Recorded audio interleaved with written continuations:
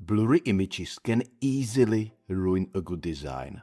Luckily, Canva makes it easy to fix them with a few quick steps. And in this video, I'm going to show you two simple methods to sharpen your images and make your designs stand out.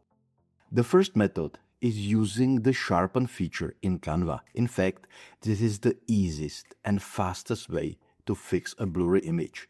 So, first, open your design in Canva and click on the blurry image you want to fix. Now, look for the Edit option in the upper toolbar and click on it. A new panel will appear. Click on the Adjust tab at the top.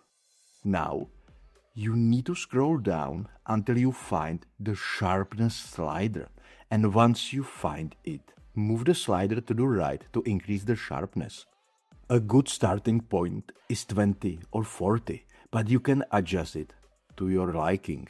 Adding sharpness will bring back the edges and details in your image. If the image still looks a little off, you can also tweak other settings like clarity, which can boost the midtone contrast and makes details pop. You can also play with brightness to adjust how light or dark the image is. And you can also try the contrast slider to make the difference between light and dark areas more noticeable. A small adjustment here can make a big difference. Playing around with these settings helps the image look more natural and less forced.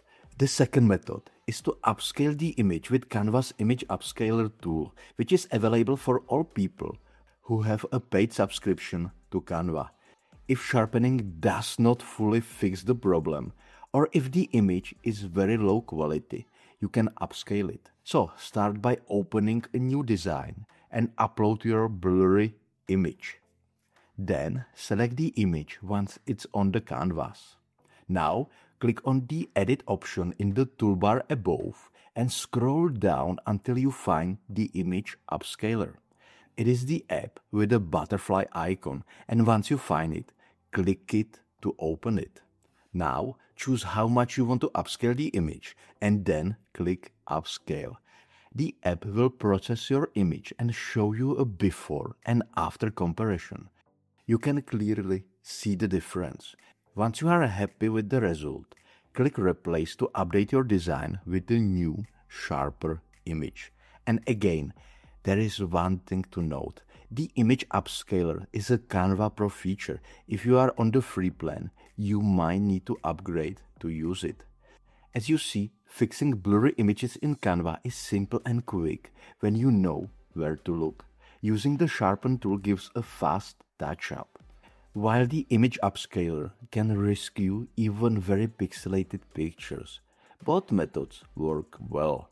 If you have a decent quality image, a simple sharpen is enough. If the image looks like it came from old flip phone, definitely go with the upscaler. You know, nobody likes a blurry design.